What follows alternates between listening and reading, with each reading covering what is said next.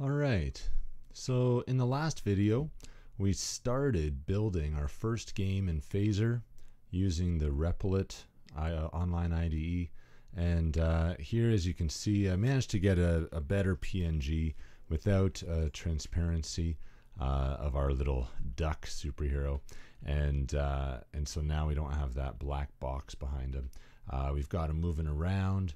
And as I said in the last video, today we want to go over how to create, build our whole level programmatically uh, using uh, functions or loops or a combination of both. So here we go. Uh, so here we've got our create function. Uh, and just a reminder, we manually created each of these boxes individually. We don't exactly want that. Uh, what I'd rather have is a function that I give it one xy value and it will generate a platform starting at this point and then I want to tell it how many boxes I want and then it generates one each one uh, uh, next to it. And we determined that to get this spacing 75 is a good distance between them on our x-axis so let's do that. I'm going to define another function. We can just throw it right in here. And I'm going to call it uh, build platform. And I want to pass into it a few parameters, an x and a y. That's going to be the starting x and y position of my platform. And then the last one is uh, I'm going to do size. Okay. And that will determine how many boxes uh, we need. So if we only want one, we just pass in one. If we want five, we can pass a five and we'll do five boxes. And now, because we want to repeat that, we're going to do a for loop. And if you've never worked with for loops, I strongly recommend you uh, look at maybe some of my other videos or, or other resources looking, learning about for loops, how they work. Uh, it's, it's a loop where we can repeat code and it's a it's a nice loop where it has built in creating a new variable that will iterate. It'll increase or change the way we want it to so that we can get the behavior we want. And so here we go. So I'm going to create a new variable and let's call it i and I'm going to set it to uh, 0 to start okay?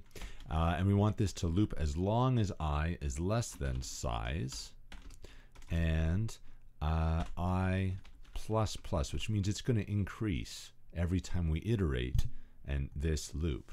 Okay, and so uh, in our for loop here, I want to essentially call this function, and so I'm going to call platforms, and this is again why we made that variable platforms global at the bottom of our code.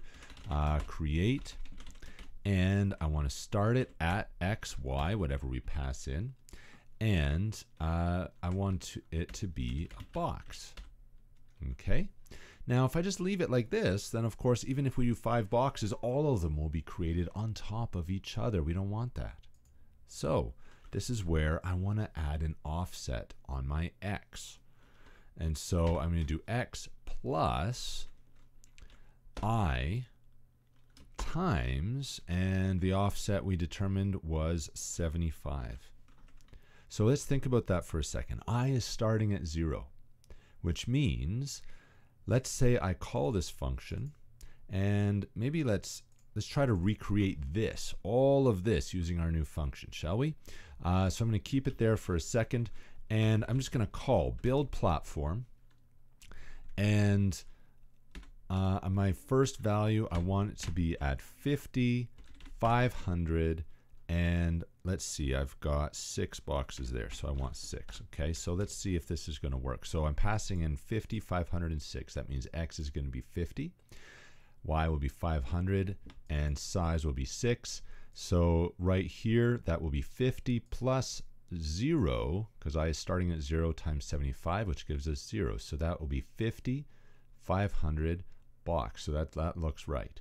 Now, i will increase to 1 so let's see, that means it's going to be 50 plus 1 times 75, which means 50 plus 75.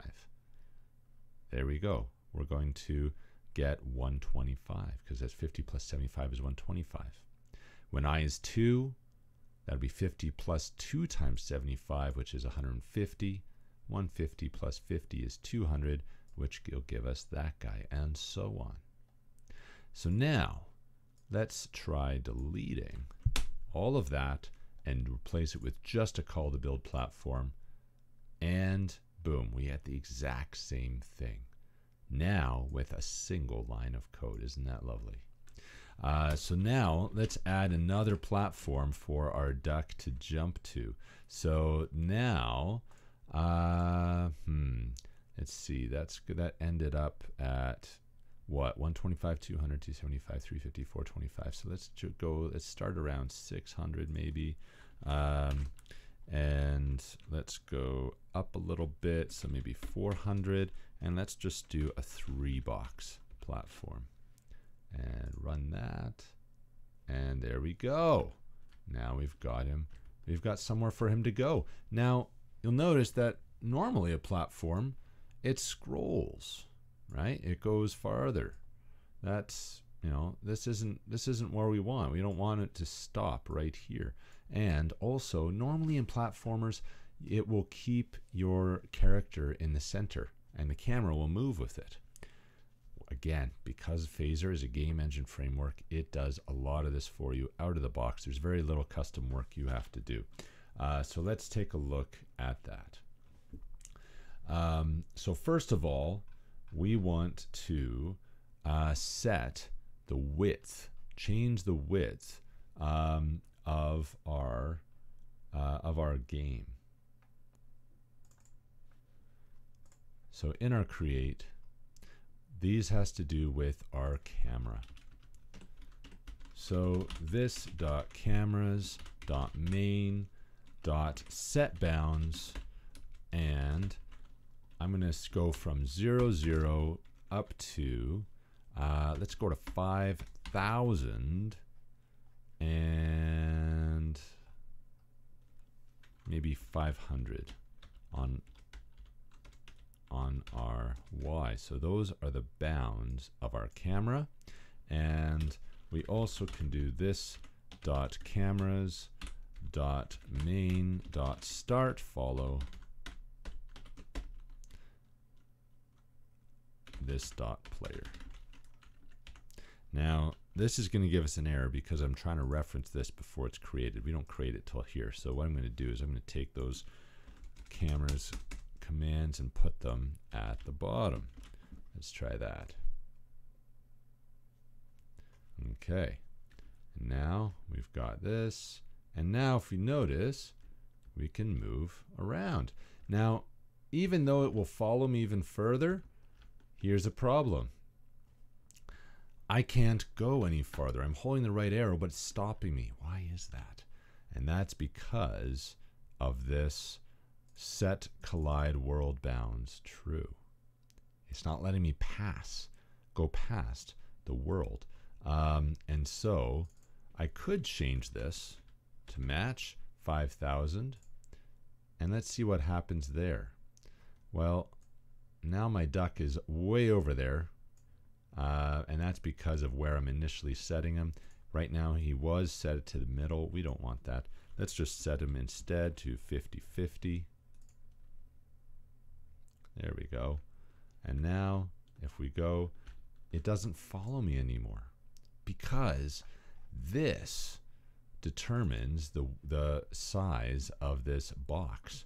And so that's why we want to keep that width to 800 and if we just set our collide world bounds to false that should allow us to move past that initial place and go all the way down. But then of course he falls right off the bottom of the world and is gone. Uh, so that he can come back and we can just keep on going. This is where in our update one last thing I want to do and then I'll stop uh, is let's add in a condition. If this dot player dot y is greater than config this dot uh, or what was that variable again for the world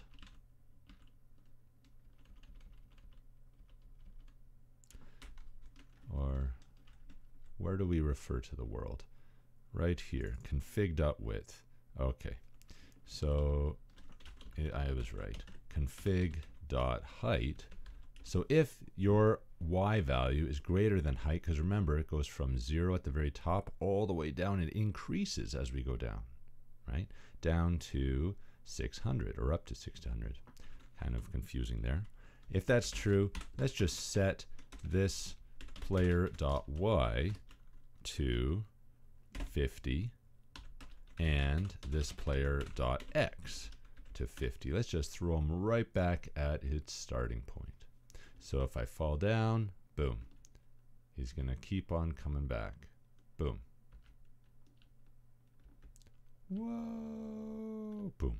There we go. Um, moving forward, what you would do, what would we do to build a, um, a whole level? Just keep on calling more of these for each platform you want. And, uh, you know, you can, of course, replace these images with whatever other images you want.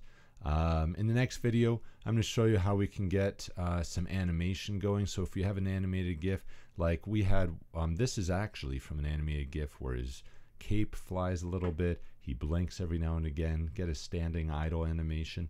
Uh, I'll show you how we can process that, create a sprite sheet, and from there, if you have even running animations, we can apply those in as well. All right. Thanks, everyone. That's it for this, this video. Bye-bye.